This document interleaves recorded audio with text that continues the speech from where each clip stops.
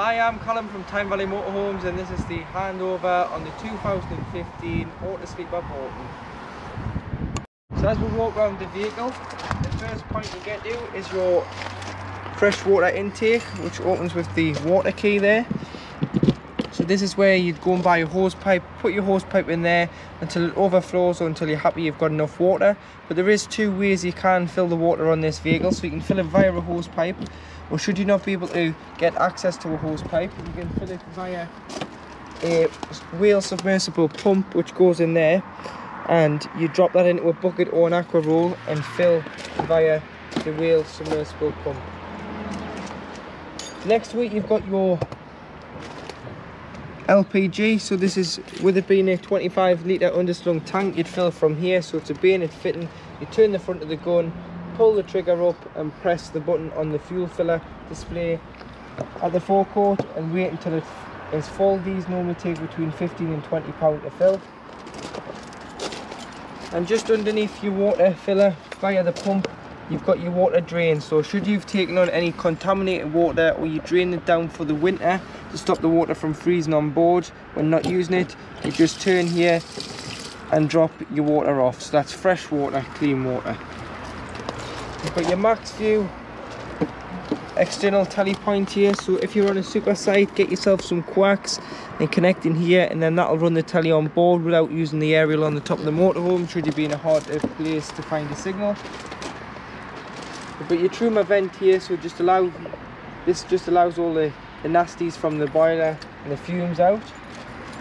And then here you've got your mains connectivity point so you get your hooker bleed lift the collar slide that over there and connect and then unhook press the blue lever down and unhook the vehicle. But when hooking the vehicle up always hook the vehicle up first then walk to your power source and obviously do it in reverse when you're unhooking.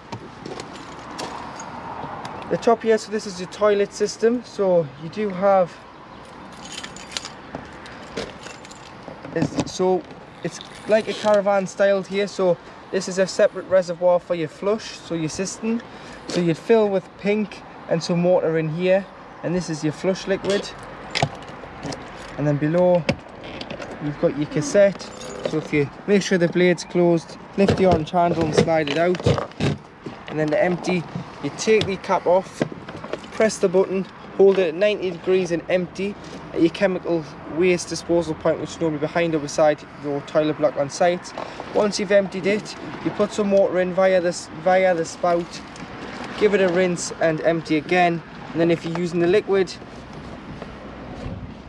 you do cap full of liquid into here with some water or if you're using the tablet form which is a newer form nowadays open the blade hatch put some water in, a pint of water, and then drop the tablet into the toilet. Clicking it back in means it is locked in place. Come round to the back of the vehicle, you've got your reversing camera above your high level brake lights, and then you've got your tow bar with 7 pin electrics on there and your bumper bar so it just protects the back panel of the vehicle. You'll also notice you've got corner steadies on here so there's a, there's a handle just inside the habitation floor. You get your handle here. Pop that through onto the winder there. And then you can wind your legs down for a bit more stability. But obviously make sure these are wound up before you leave site.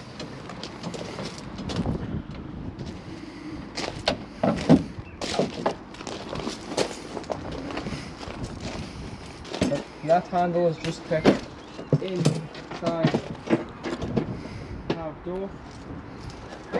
Got your electric step which button's just here. So it's a little push button puts the step out and that'll automatically be retracted when locked and when the vehicle is started. Put your awning light, your awning, your fridge vents, a outside three pin plug on mains electric only for when the, you're out in the awning you do have your external gas point.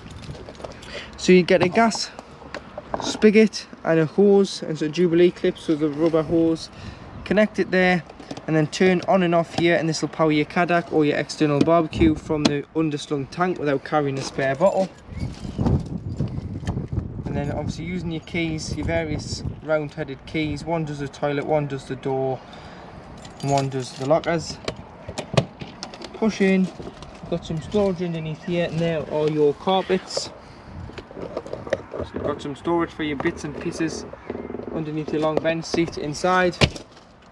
And then the West Alloy key which is a square key. Opens this section here and you can store in there. So that's more for hookah bleeds, leveling rams, things that are going to get wet. It's more of a wet locker.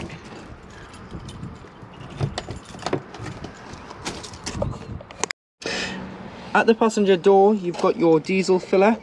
So simply open the passenger door, open the flap, and then open the cap, and this is where you'd fill with fuel, diesel. So in here, obviously your main engine battery lives underneath the floor on a Mercedes Sprinter. Your bonnet releases here, and then this cap, cap here, this little toggle which lifts that off, and that's all the fuses for the Merc Sprinter side. And then if we just have a quick look underneath the bonnet,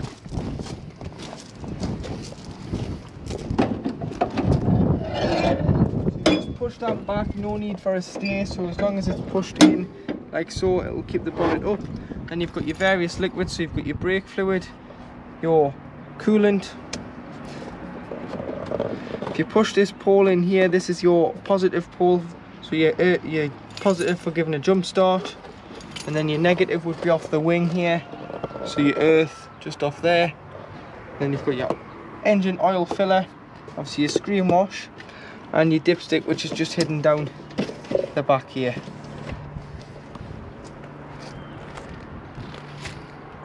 So once inside the vehicle beside the habitation door you have your main 12 volt control panel. If you're hooked up you'll get a little symbol here to say that you're hooked up and you're on mains 240 volt and to turn the panel on and off you've got your on button here. So this lever either give you 12 volt if you're not hooked up or 240 volt if you are. Then next it you have your pump. So should you have enough water in the tank you can turn the pump on. And this will prime and pressurize all the taps toilets and shower.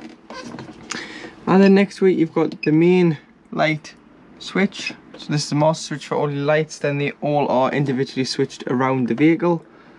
And at the bottom here in the far left you've got your owner light which is a light above the habitation door. You've got your dimmable light so this switch next to it dims the light underneath here. It's a light dimmer. And then you've you've got your two batteries here so this is your power transfer button so should your leisure battery die you can swap the battery over the vehicle battery but I wouldn't advise this because you can drain the Mercedes car battery and then you will be getting nowhere because the engine won't start. And then finally, you've got your tank heaters here. So the, the tanks have got probes in and put a current of, current of electric through the water. When it's going to freeze on a night, put these on and it'll stop the water from freezing. Feeling to do so may freeze the water in the tank then you'll struggle to get water through for your taps, toilet and shower. You've got arrows here so you can scroll through the panel. So you start for the Autosleeper logo, then you go down. This shows you your vehicle and your leisure battery reading on the far left.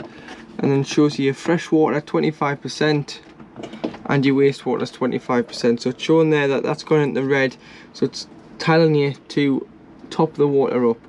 Going further down, you do have your vehicle battery volts, your solar panel and your ampage coming off the battery. And you've got time settings and then you can obviously displays the time on the main control panel. So in the kitchen area you've got three lit gas rings and then this one controls this one which is electric hot plate. Normally works on 240 volt. So you get the light on there when that's working. Obviously if you've had any of these on allow it to cool before you put the cooker hood down because if it is warm you can smash this glass.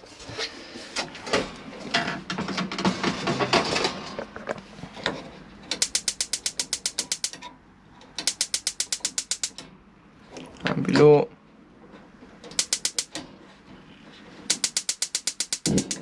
you've got your grill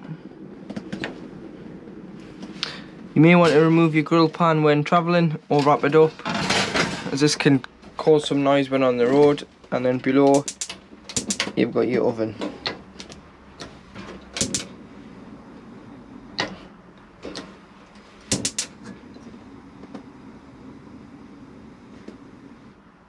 Like so.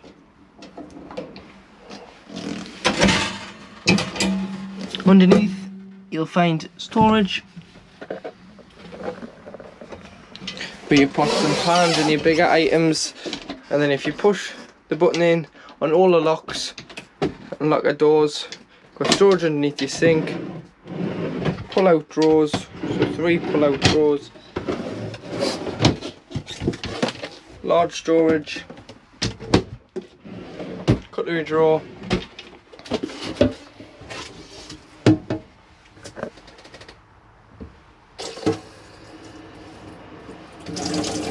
and this is just showing that your water pump's working. You've got hot and cold water there. So it's getting up the temperature nicely. Above you've got storage.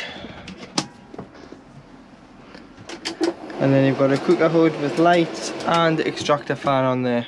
So lights this one extractor fan that one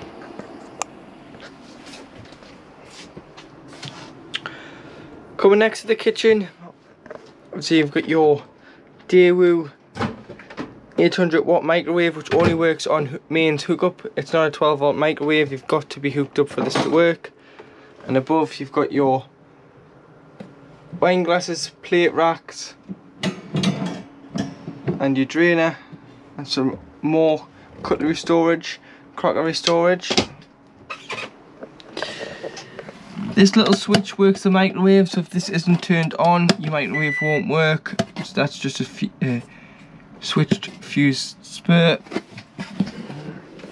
And then below, to operate your Dometic styled fridge freezer, so you turn on here. Then you've got three sources. So you've got mains electric when hooked up, gas when you weren't hooked up and you're wild camping, and then obviously battery works when the engine's running and it's designed to keep the fridge at the temperature it was before departing. So it basically turns into a big cool box. So what you do is you'd either put on gas or electric first to chill it down and then turn it on to battery after it's chilled to keep the temperature the same when travelling from site to site or from home to your site. Temperature here. So a lot of people say don't have around 5 because Five's good for chilling it down, but then when you put your shopping in, it can potentially freeze your shopping, so turn it down to three or four.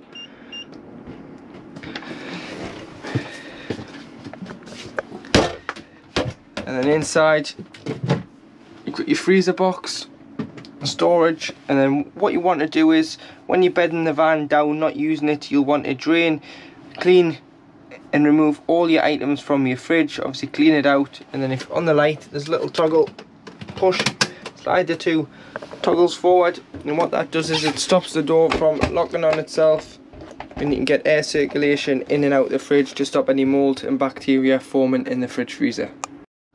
In the washroom area, so to operate the toilet, ensure the pump's on. You'll be able to push the blue button at the back which gives you your flush from your reservoir so you get your pink liquid and then what you'll want to do is always flush before use. Then this little grey lever slide to the right drops it into the cassette.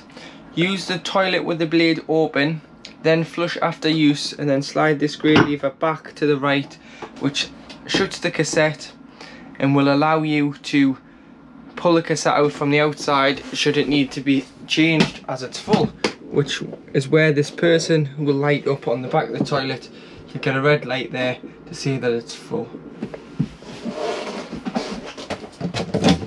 all your little lights are individually switched. So your big lights one there one there one here one here. They're all got little rocker switches on to turn them on and off individually.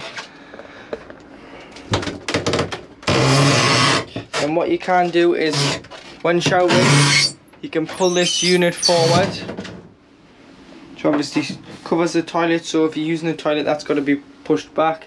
Gives you a separate shower cubicle. You've got a turnbuckle there. And two on here to release the shower door. And then what you do is put one on here. Then there you have your own little shower cubicle. And when winterizing if you remove your shower head from your hose leave all your mixer taps throughout the vehicle open and allow the shower hose to lie in the shower tray. As you can see there it's got quite a loop in there. Any water could potentially coil up in here potentially freeze so that's why you'd remove it and lie it down and then any water will just dribble out into the waste tank which would be open from outside anyway.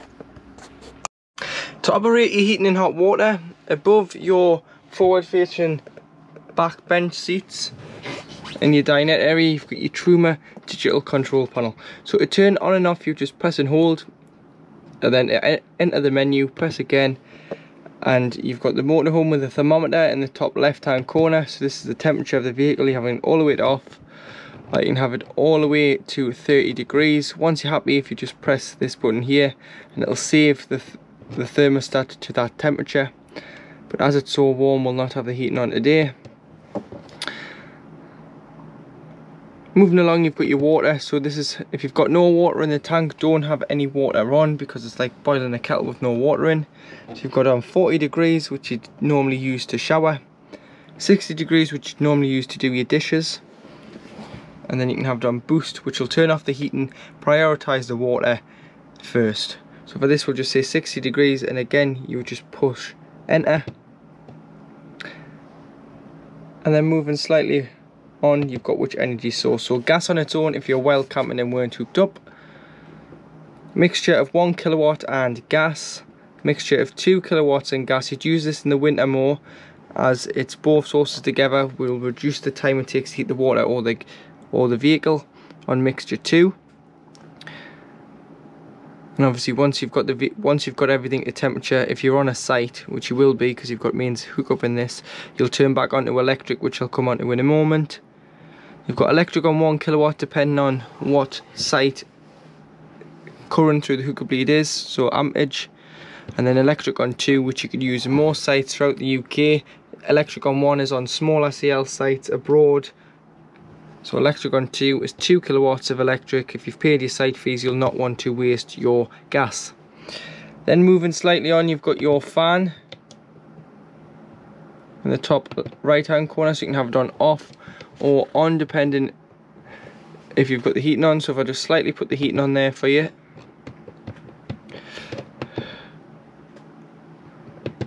And then you have it on eco or high. So eco will save a bit of 12 volt and high and you'd use eco on a night high you can hear the fans running so you wouldn't have this on a night because it would disturb your sleep so high during the day um, it takes a bigger feed of 12 volt and obviously eco if you're well camping and on an evening moving to the bottom corner you've got a timer so you can time the heating to come on and off just the once so you've got the display time on the panel then should you get a warning triangle in the middle, you go to the spanner in the bottom right hand corner. And go to reset, press enter, save preset and press again and then it will reset the panel and you'll have to go in and set everything up again. To make the bed up, what you'd simply do is lift and slide the lat system on both sides into each other like so. Slide this one out and into the middle. To there. And then use the backrest so you'd use this one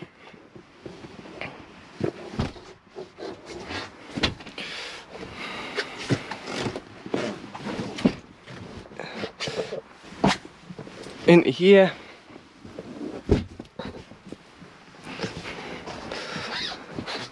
And then you'd use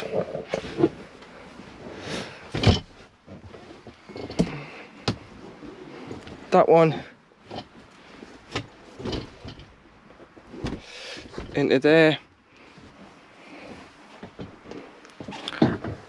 And then above the cab you'll find two infill cushions. So there's two in there and I'll pop them into the space where they need to be and I'll come back and show you. And there you have your large double bed made up. So backrest from along here backrest there from along there. Then the two infill cushions which can be found above the luton area. So the shorter one of the two goes here the longer one of the two goes there. And what I'd also advise is turning all the cushions upside down and get this nicer flatter surface to sleep on and it's far more comfortable to open your windows you just press the levers lift all four up push out.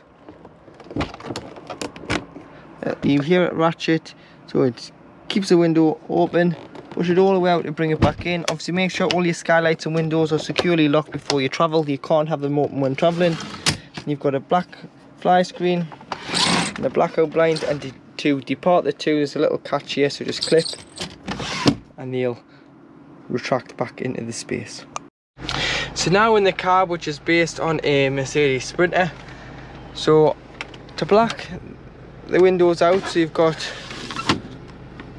two blinds on the door like so and the same on the passenger side as well. And on the door you've got your electric windows and your mirror adjustments so right and left your gas indication levels here so as it's got a LPG gas tank on, which is 25 litres. It'll tell you how full it is.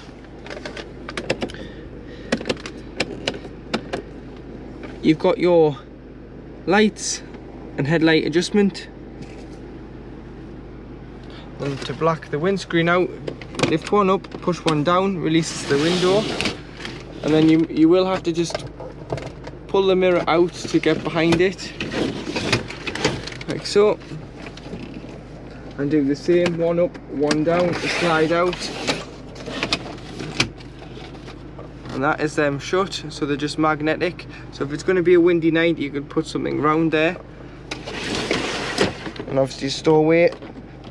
One up one down. Make sure they're stored away securely before you do start traveling and then coming on to the controls so as it's a mercedes everything's on the left hand side. So you've got your speed limiter You've got your wipers and your indicators automatic transmission so park reverse neutral and drive and then you go plus and minus for your gears. So you can go up the gears there should you want to be in manual mode? Cup holders and 12 volt point. Hazards. ASR off is another word for turning your traction control off so anti-slip relief. Then that locks the doors including the habitation door. You've got your temperature so how hot you want the cab to be. And obviously your fan speed here so so full or half and then your aircon button underneath the uh, aircon button you've got the recirculation button which obviously recirculates the air that's already within the vehicle and then you've got your distribution so where you want it to go to and you've got so that's your heated mirrors there and then you've got your paper clip for holding a map or anything else in there. Ian Lavery brought up the issues surrounding catch-up.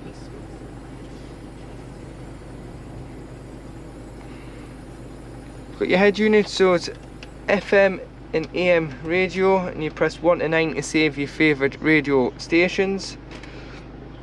You can put an SD card in for media. So media is the memory card which is here. So it's a so it's an SD card to put your tracks on.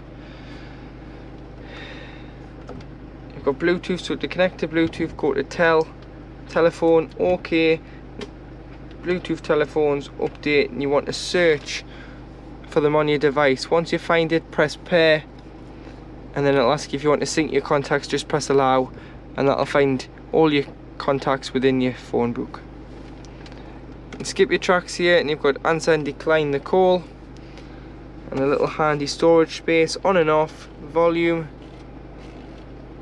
Just uh, got your volume so your radio works lockable glove box.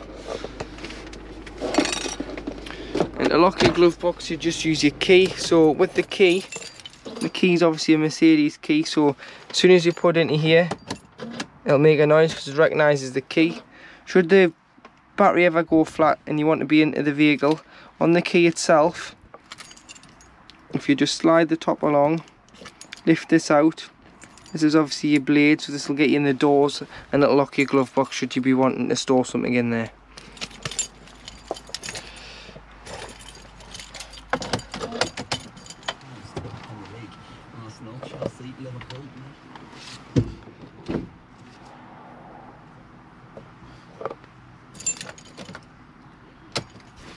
So when you go, when you start the engine,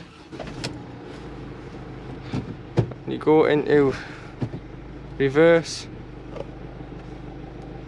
your reverse camera will come on. So there's a closer look at the reverse camera. So you've got the red lines obviously meaning the bumper and then the green showing the distance. And that's only in reverse. Doesn't work when in drive, so it's just a rear view camera. To turn the seats from the cab, you just use these red levers and then pull the seat forward should you get stuck on the door pillow on the door and turn round into the living space. And then of course you do have your handbrake down here. So I would advise, it is an automatic, you don't have to use a handbrake, but I would still advise that you use it sometimes because obviously the parts don't you don't want the parts to seize up and then take it for an MOT or a service and be billed for handbrake cable as your handbrake is not working. So just put it on from time to time to allow the system to work